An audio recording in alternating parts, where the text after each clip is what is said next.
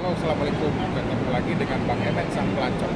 Kali ini Bang Emet pengen cari makan lagi, tapi makannya beda. Makannya di kereta makan. Kayak apa? Ayo kita lihat.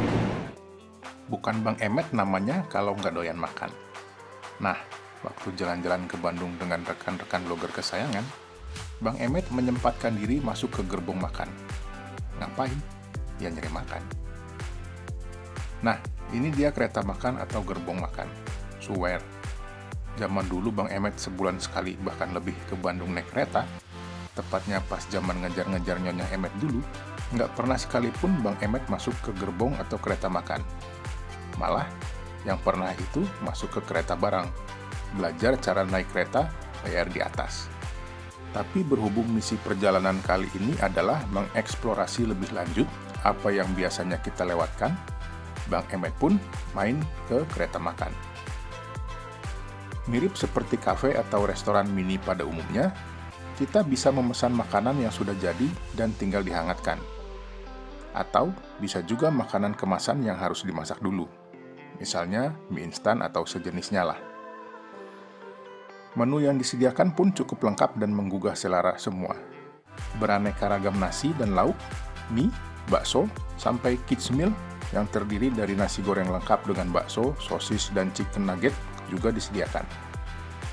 Mau makanan yang ngajak ribut penumpang lain? Maksudnya yang aromanya menyengat seperti mie seduh? Juga ada. Minuman pun lengkap, mulai dari minuman panas sampai dingin, pilihannya juga cukup banyak.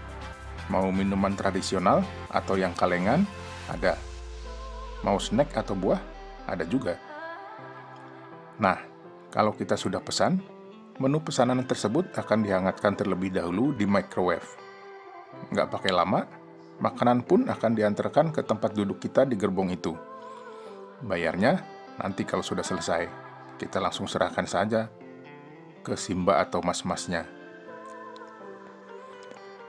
Namanya gerbong makan, ya cuma satu gerbong ini saja yang disiapkan untuk tempat makan dari seluruh rangkaian gerbong di kereta ini. Tempatnya sih terbatas jadinya, tapi enak banget ternyata dan nyaman juga. Buat kerja sambil nunggu kereta tiba di tempat tujuan kita, bisa juga. Tapi ya sebaiknya kalau sudah selesai makan, berikan tempatnya ke penumpang lain yang juga ingin makan di sana. Jangan kayak rombongan ini nih, asik selfie-selfie. Hehe, tapi tenang. Kebetulan masih ada tempat duduk lain kok. Nah, ini makanan yang Bang Emet pesan ayam crispy grand chicken with rice judulnya. Ternyata dapat ayamnya dua potong dan nasinya pun diberi daun pisang agar wangi. Gimana rasanya? Untuk harga 35.000, oke lah. Ini kan hitungannya bukan di restoran biasa, tapi di restoran istimewa. Bisa makan sambil menikmati pemandangan di hadapan, menyenangkan bukan?